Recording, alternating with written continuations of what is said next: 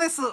違うか 吉田サラダです。ウィラブスワローズっていうことで、えーサイスニード投手、新外国人選手のサイスニード投手の話をしようと思ってるんですけど、その前に中日ドラゴンズさん、えらいことなってますね。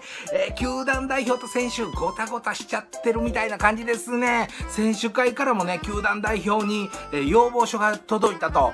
球団代表がね、あの、契約を保留した選手に対して、マスコミにお金のことで言ってるんだよ、みたいな感じで言うったと。うんもう選手会からはそんな言うのはおかしいと。まあ本当にそんな言わなくていいのになと思うんですけども、これね、このごたごた、ヤクルトスワローズにとってはちょっとプラスかなと思うんですよ。やっぱりね、FA のライアン・小川投手、地元中日ドラゴンズさん声かけるんちゃうかなと思ってるんで、こう、ドラゴンズがごたごたしてたら、ライアン・小川投手も、あ、それやったらヤクルトスワローズで野球をやりたいと思ってくれるんじゃないかなと思っております。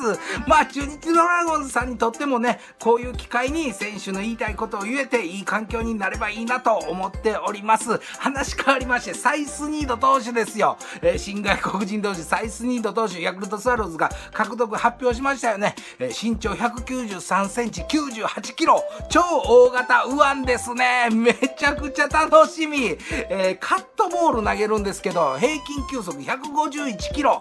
いやー、いいですね。パワーピッチャー。えー MLB の成績が、えー通算26試合で0勝4敗。防御率が5.59。まあね、メジャーでは、あの、後ろの方を投げてたんですけども、3A とかでは先発経験がありと、ヤクルトスワローズでは先発を期待してるみたいなんで、楽しみですね。スアレス、サイスニードの2人でね、めちゃくちゃ勝ってほしいなと思っております。このサイスニード投手のカットボールなんですけども、僕、映像を見たんですけどけども、めちゃくちゃ浮き上がるんですよ。なんかね、イメージ的に言ったら、あの、藤川球児投手のような、分かってても打たれへん。もう、ストレートがこう、ブーンと来るみたいな、あんなんなんですけども、サイスニード投手、身長めちゃくちゃ高いじゃないですか。193センチ。その193センチ、めちゃくちゃ上から投げるんで、この、こう、上から、ガッと来るんですね、球が。